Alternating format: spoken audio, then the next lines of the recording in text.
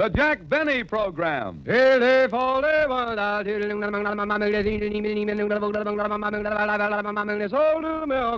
Lucky Strike means fine tobacco, so round, so firm, so fully packed, so free and easy on the draw.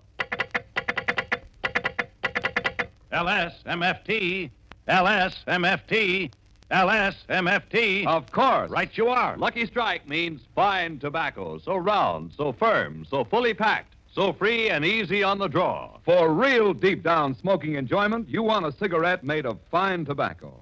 For certainly it takes fine tobacco to make a fine cigarette. And Lucky Strike means fine tobacco. Yes, first, last, and always. Lucky Strike means fine tobacco. So round, so firm, so fully packed, so free and easy on the draw. At 40, sold American. So for real deep down smoking enjoyment, smoke that smoke of fine tobacco, Lucky Strike.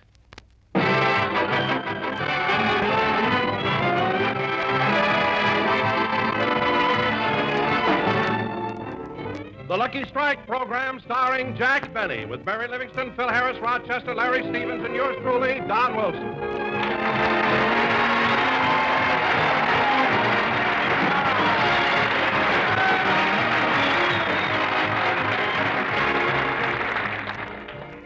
Well, ladies and gentlemen, last Thursday was Thanksgiving. So let's turn back the clock and show you how Jack Benny and his gang spent the day. Our scene opens in Jack's home in Beverly Hills, and at the moment, Rochester is straightening up the house. Night and day, I am the one. Thanksgiving comes and goes, but I'm never done. Rochester. I'm working all the time. I'm nothing but a one-man assembly line. Night and day. Rochester. Day and night. Paul Robeson. Yes, Mr. Benny. You're always singing, always singing. Well, I'm happy, boss. Here it is Thanksgiving, and I'm glad I wasn't born a turkey. Oh, you, uh, you wouldn't like that, huh? No, I couldn't stand being in an oven all undressed and people peeping in at me.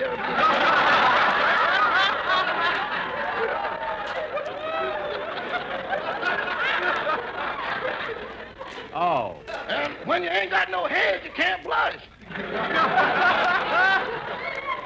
Rochester, stop being so silly. You know, I'm going, I'm going to Miss Livingstone's house for a Thanksgiving party, so help me get dressed. Okay, boss, but if I were you, I'd change my mind about wearing that old tuxedo.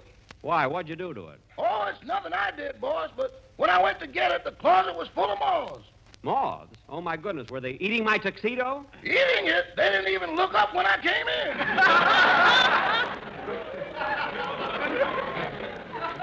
Well, maybe it won't show. What part did they eat? Well, to put it geographically, the South ain't solid anymore.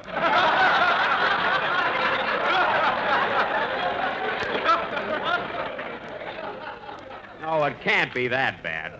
Now go get my dress shoes. I ain't going back in that closet again. They warned me.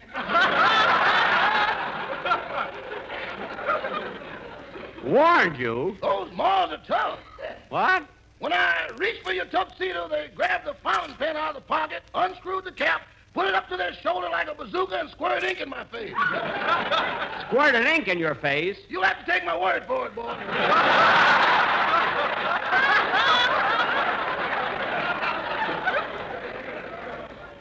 Rochester, why is it that every time I get dressed, I have to go through all of. Come in. Remember me? I'm Herman Peabody, the insurance salesman. Oh, hello. Hello, Herman. I just dropped by to wish you a happy Thanksgiving. Well, thanks. Thanks, Herman. Come on in. I'd like to, but this leash won't reach any farther. Oh, you've got your dog with you? Oh, my turkey. I'm taking it out for a walk. Herman, you're taking your turkey out for a walk on Thanksgiving? It was his last request.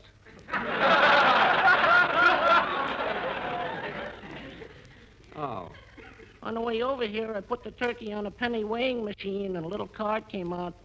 What did it say? It said, You weigh 32 pounds, have good character, make friends easily, but you have a tendency to lose your head.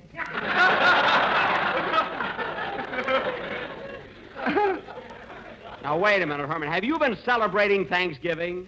Uh huh. I thought so. Well, goodbye, Herman. Have a nice dinner. Oh, goodbye, Mr. Benny. Come on, Dolores. Hmm. A peculiar sort of a fella. Here, Rochester, before I put my coat on, you better fix my bow tie. Yes, sir. Lift your chin up a little. Someday I'm going to learn how to tie a bow myself, and I won't. Rochester, don't just stand there holding it. Tie it. I'm waiting for your Adam's apple to clear the runway.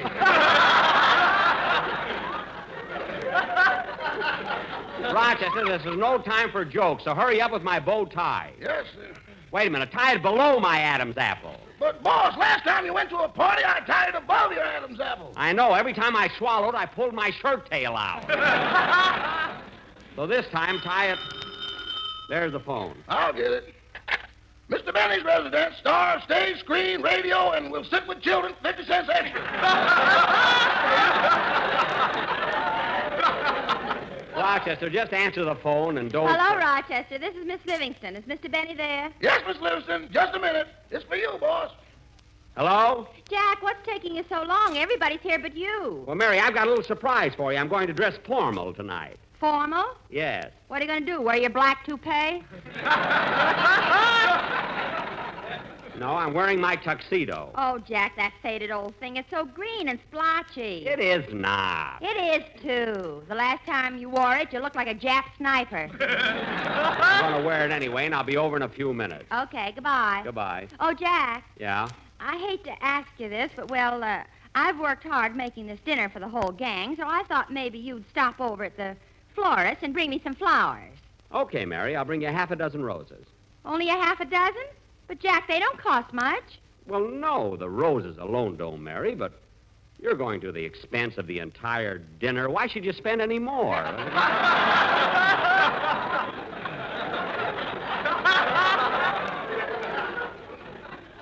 After all, you're doing enough. Jack, I meant for you to buy the roses. Oh, oh, oh, oh, oh, oh, oh, oh. Well, Mary, you didn't have to beat around the bush. Why didn't you come right out and say so? Of course I'll bring them. Goodbye. Goodbye. Of all the cheap guys I ever. What did you say, Mary? This isn't Mary. This is the operator. Well, you're not supposed to be listening in. Smart aleck operator. Oh, say, Rochester, I think it'd be a good idea if you came along with me. Miss Livingstone might need some more help. I'd like to, but you know every Thanksgiving I go to a party on Central Avenue. Oh, yes, that's right. We fill up on plum pudding and brandy sauce. mm Say, that sounds good, huh? Plum pudding and brandy sauce. Yes, sir. And this year it's going to be better than ever. Why? We couldn't get any plum pudding.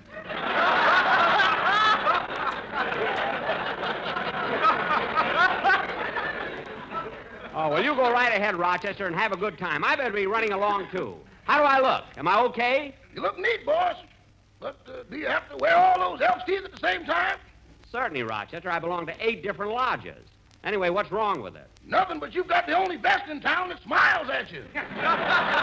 Well, you know me. I always like to put up a happy front. so long, Rochester. So long, kid.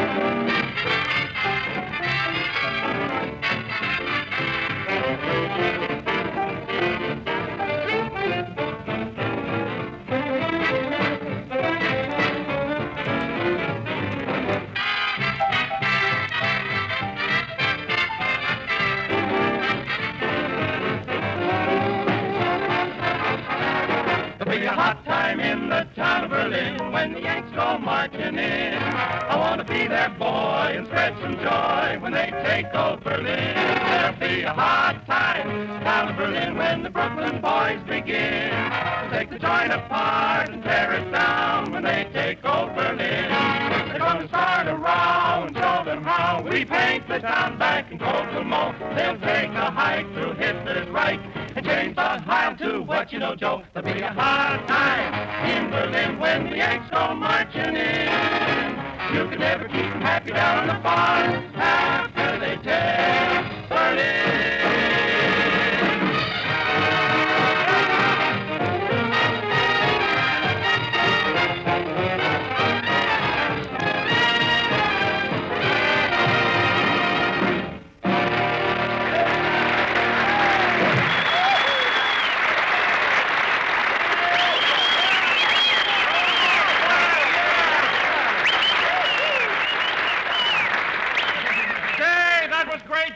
It sure was. Gee, I wish Jack would get here. Come on, Phil, play us another one. Yeah, get hot. Swing it. Say, Phil, that's a swell idea, bringing your whole band over here to Mary's house. Yeah, wasn't it, Mary? Phil, I don't mind your band being here, but your boys have got a lot of nerve putting one of my best dishes on the piano for an ashtray. That ain't no ashtray, that's for tips. Tip? What a gang. Say, Mary, when are we going to eat? I'm hungry. Me too, Miss Livingstone. Now take it easy, fellas. We'll eat as soon as Jack gets here. Meanwhile, let's have some fun. Okay, let's have some more music. Hit it, George. hey, Just play wait a something. minute, Phil. Can I play the drums? Sure, go ahead. Beat it out, Don. Come on, George. Hit it out there. Play it, Donald. Yeah, Donald. Hey, hey, Don, look out. Look out, Don.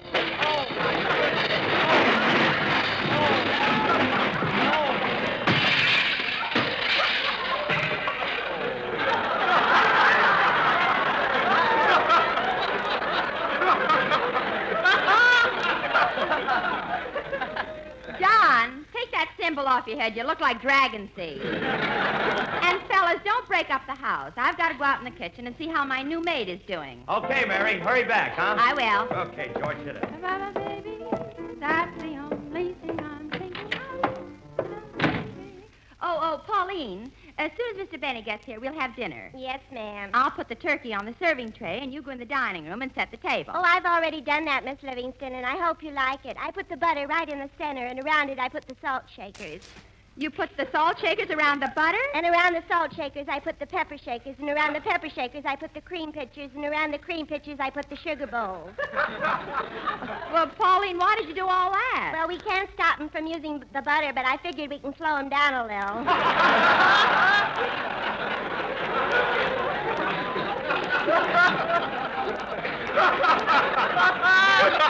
well, that was thoughtful of you, Pauline, but I'll rearrange the table later. later. Yes, ma'am. Right now, you better help me. I've been having trouble with the cranberry sauce. What's the matter? Can't you get the berries to cram? Pauline, you don't cranberries, you mash them. Gee, I'm sorry, Miss Livingstone. I don't know much about cooking, but if I did, it would probably help me to get a boyfriend who's interested in marriage. Like my girlfriend who wanted to get married, so she went to school to learn how to cook. Then after she learned how to cook, she met the cutest fella, and they were married. And after they were married, she found out he was a chef, so it really doesn't make any difference, does it?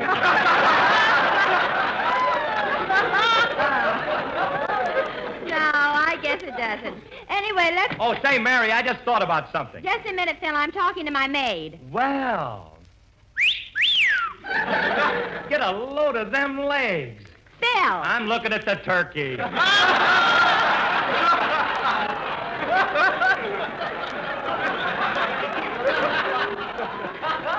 Oh. Anyway, Livy, when the food's all ready, let me know and I'll help you serve it. Thanks, but it won't be necessary, Phil. I've hired a butler for the day. Okay. Mm, I'd sure love to see that turkey in a bathing suit. Phil, get out of here. Say, he's cute, isn't he? Yeah. Now, Pauline, you mash the potatoes while I get the ice cubes out of it. Oh, there's the door. Oh, that's all right, Pauline. I'll get it. I can't give you anything but love, baby. That's the only thing. I... Oh, hello, Jack. Come on in. Hello, Mary. So nice, I thought I'd walk over. Isn't it a bright, sunny day? Yeah. Here, I'll take your parasol.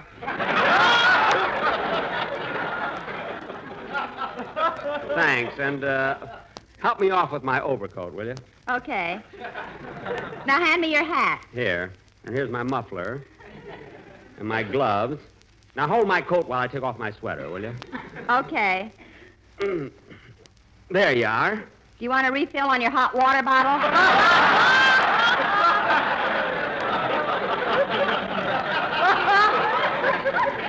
Well, you can kid if you want to, but this is the season for colds.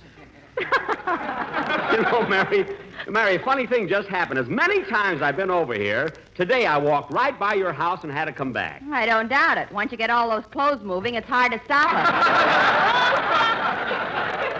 Yeah. Is everybody here? sure, they're in the living room. Let's go in. Okay. Say, Jack, how about the flowers? They said they'd send them over. They'll probably be here pretty soon. Hiya, fellas. Hiya, Jackson. Hello, Mr. Benny. Hello, Jack. Can it be the breeze, the dollar bills, the breeze? Oh, with a magic. All right, boys, all right. I get it, I get it. I get it, I get it. Well, fellas, you having fun? Oh, I'll say say we are. Say, Jackson, who do you think I ran into last night? Who, Phil? Your old girlfriend, Gladys Zybisco. Really? How is Gladys? Oh, fine. And you know, Jackson, she looks a lot better. She had an operation on her nose. Her nose? Why, her nose was straight. What did she have done? She had it moved to the middle of her face. Now cut that out! anyway, hey, when are we going to eat? Yeah, I'm hungry, Mary. Uh, pretty soon. Say, Larry, while we're waiting, how about singing us a song? Yeah, come on, Larry. How about it, huh? Sure, kid. Go ahead, will you? Okay. Oh, there's the door. I'll get it, Mary. Hold the song till I come back, will you, kid?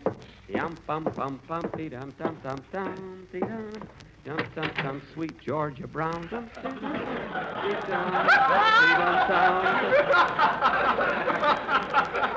Yes? How do you do? Is this Miss Livingstone's residence? Yes, yes, it is. Well, Miss Livingstone is expecting me for Thanksgiving dinner. Oh, oh, well, come right in. You got here just in time. The fun's just starting. How nice. Now, let me take your hat, Thank you. your coat. Thank you. Now, follow me. Hey, kids! Oh, pardon me, pardon me. I didn't introduce myself. I'm Jack Benny. How do you do? I'm the new butler. Hey, kids! What?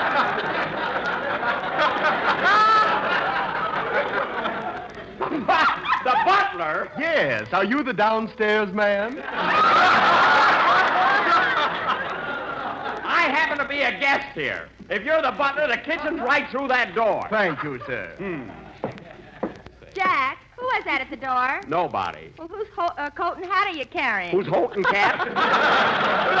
oh, darn it, you're butler, and he just came in. All right, laugh, laugh. I know how to keep help. Go ahead and sing, Larry. Go ahead.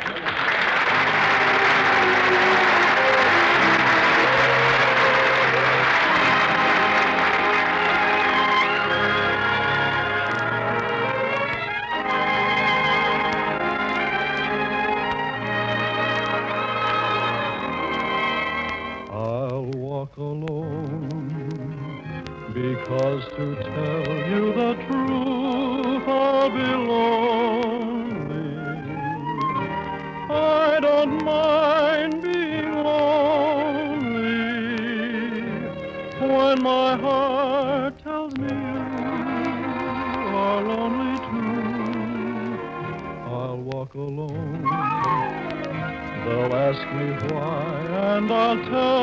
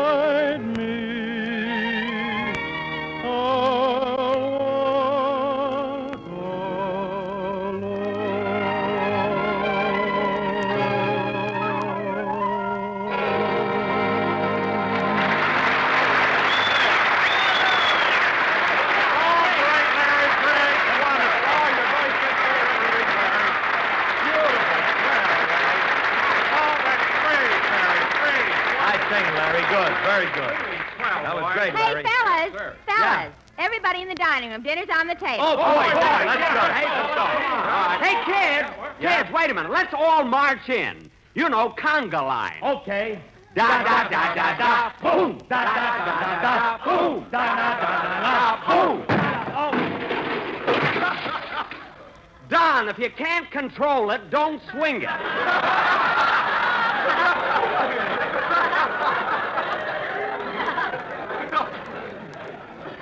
Heaven's sake. Oh, Jack, you and your ideas. Now, come on in, fellas. The dinner will get cold. Okay, let's go. Jack, bring in an extra chair. Okay, I'll be with you in a minute. Hey, look what's in that this dish here on top of the piano. Well. Hey, get your hands out of there, Jackson. That's for the boys. Oh. Jack!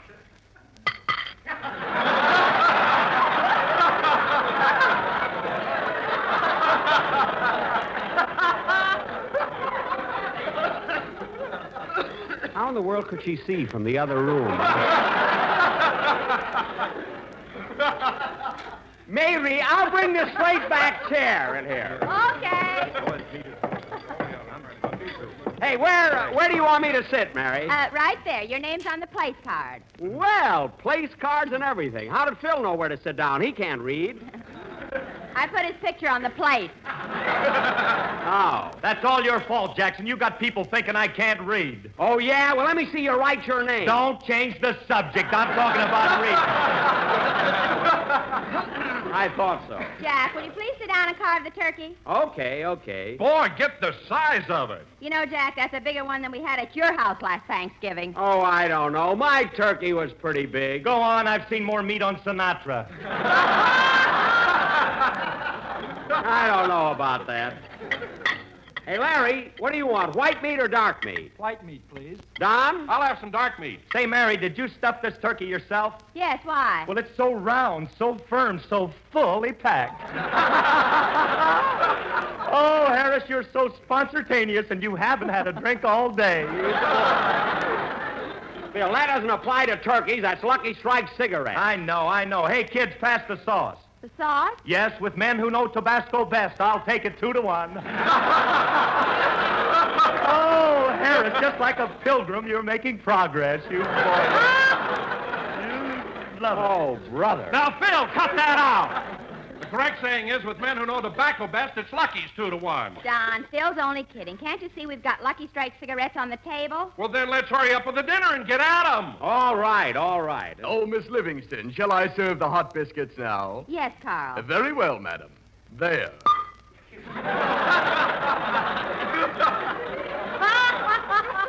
Carl, don't throw the biscuits. Yeah. Why don't you stand closer to the table? I've been watching these people eat, and I don't want to get any on me. What?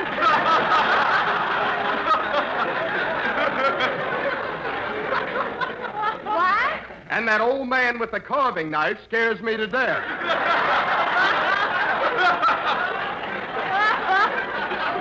Now, wait a minute. I know your type. Those blue eyes aren't fooling me a bit. You're just mad because my tuxedo is better than yours. Now, Carl, your job is just to serve the food, not to antagonize the guests. Yes, madam. Hey, Jackson, how about making a speech? Come on, huh? Come on, make a speech for us. Go ahead, Jack. Say something. This is the first time we've all had dinner together in a long time. Okay, okay. Well, kids, it's sure nice for all of us to be gathered here on Thanksgiving. I know that during the year we've had our little differences and a few arguments, but this is a day to forget all that and cement our friendship so that it's stronger than ever. Here, here. Thank you. and now.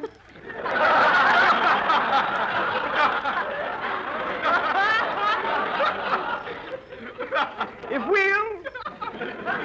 If we'll just forget our little differences. But, Jack, we've never had any real arguments. Of course not, Jackson. Oh, I was just thinking about little things like last week when Don and I had that argument about what naval hero said, don't give up the ship. Now, Don found out he was wrong, and I'm not going to rub it in. It's all over. So if we'll just. Wait get a minute, Jack. I wasn't wrong. So if we'll just It get was together. Captain James Lawrence who said, don't give up the ship. No, no, no, Don. It was John Paul Jones.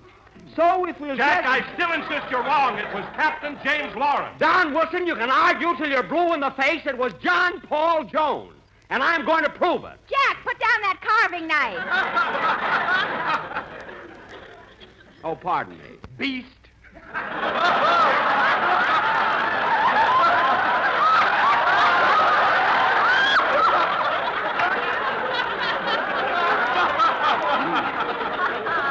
Now, Don, this is Thanksgiving, so let's forget it. You think it was Captain James Lawrence, but I know it was John Paul Jones. Say, Jackson, wasn't he on our program about five weeks ago? That was John Charles Thomas. Oh, Now, Don, take my word for it. I know what I'm talking about. Well, so do I. It was Captain James Lawrence. It was John Paul Jones. Oh, for heaven's sake, cut it out. Carl, serve the dessert, will you please? I will if those two gentlemen will get off the table. I will if he will. I'll have some more of that white meat. That's my leg. now, Don Wilson, I think it's awful for you to come here on Thanksgiving, accept Mary's hospitality, and start a big argument like this. I didn't start the argument. You did. And any schoolboy knows that Captain James Lawrence said, don't give up the ship. Well, every schoolboy knows that it was John Paul Jones. And you're just being stubborn about it, that's all. Jack, for goodness sake, finish the speech you started. I'll do it if everybody will shut up. now, as I was saying.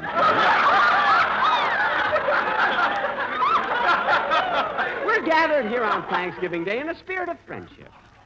A word that in itself represents that binding tie between all people. Let's try, friends.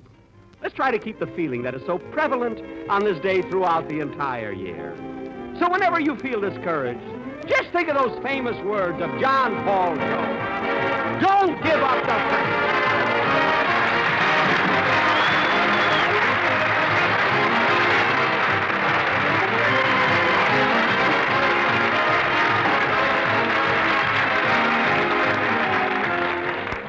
Will be back in just a minute. But first, here are my good friends, L.A. Speed Riggs and Kenneth Delmar.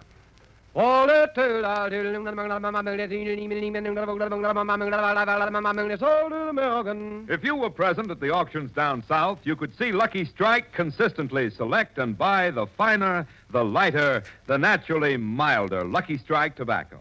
Yes, Lucky Strike means fine tobacco. And in a cigarette, it's the tobacco that counts. Remember that the next time you buy cigarettes.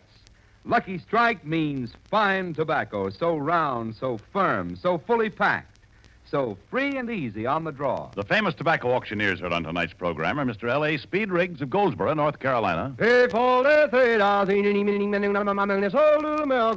Mr. F.E. Boone of Lexington, Kentucky. At 44, 44, sold American. And this is Basil Ruysdael speaking for Lucky Strike.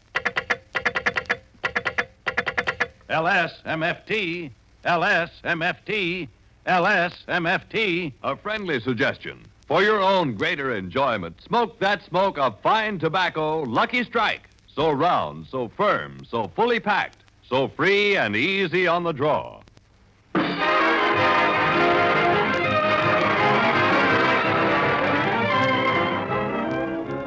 Say, Mary, Mary, I enjoyed your Thanksgiving dinner very much, but I wish Don wouldn't be so stubborn.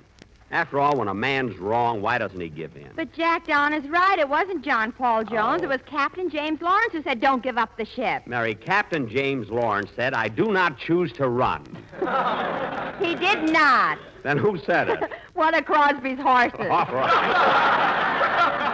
oh, well, I'm not going to argue. I got to go over to Joe E. Brown's program and congratulate him on his 44th anniversary. I don't have to. I want to go. I mean, there's the door. I can't give you anything but love, baby. Choo choo choo. Choo choo choo choo. Flowers for Miss Livingstone. Flowers? Oh yes, Mary. Don't you remember I stopped off at the Floras? Oh, yes. Well, boy, what took you so long? Why didn't you bring the flowers sooner? I couldn't. Mr. Benny only ordered the seeds. Well, I wanted them to be nice and fresh. Good night, folks.